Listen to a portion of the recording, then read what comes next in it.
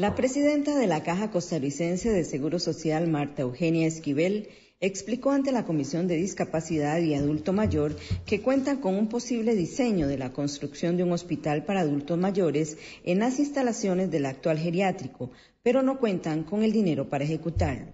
El proyecto tendría dos fases. La primera, el servicio de emergencias, hospitalización, farmacia, laboratorio clínico, entre otros. La segunda, servicios ambulatorios, consulta externa, ropería, hospital de día, entre otros. Porque no solo se trata de un edificio, se trata de las personas que atienden a esas poblaciones.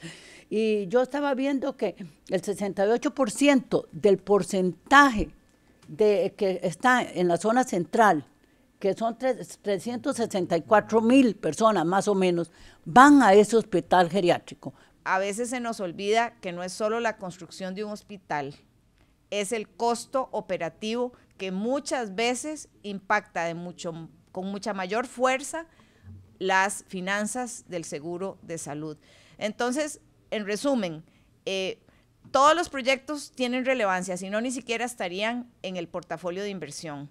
Lo que pasa es que han, han llevado a cabo un análisis interno donde tanto la gerencia médica, la dirección de planificación, todas las gerencias participan y en este momento, doña Susan les explicó en la, en la exposición, el proyecto de este hospital está en los proyectos que aún no están maduros, que falta todavía algunos elementos por cumplir.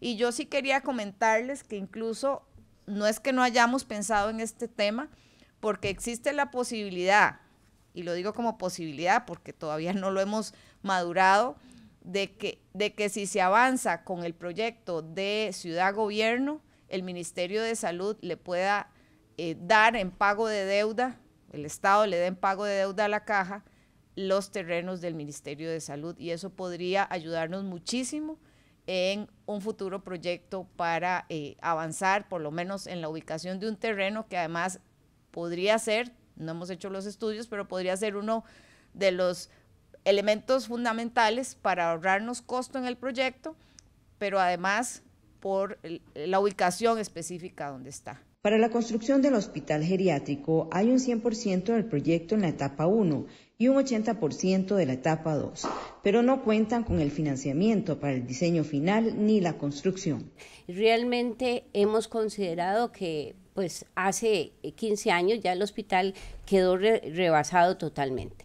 ¿Por qué elementos? Tenemos varios elementos, dentro de ellos las expectativas de vida, el crecimiento de la población.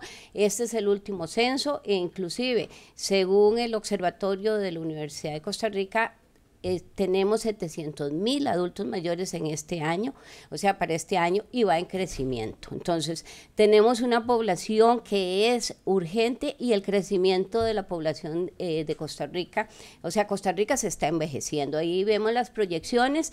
Para el año 2043 vamos a tener cerca del 17.6% de la población adulta mayor. Entonces, se requiere cuidados especializados. Pedirle que por favor busquemos, como dije anteriormente, otra fuente de financiamiento, que es un momento importante. Segundo, secundar las palabras de la diputada Vindas cuando decía que sí es bueno que tengan una comunicación más, más eh, asertiva y más eh, cercana con los miembros de la Junta, ya que ellos expusieron que sí estaba un poquito difícil comunicarse con ustedes y ver cómo va avanzando el proyecto.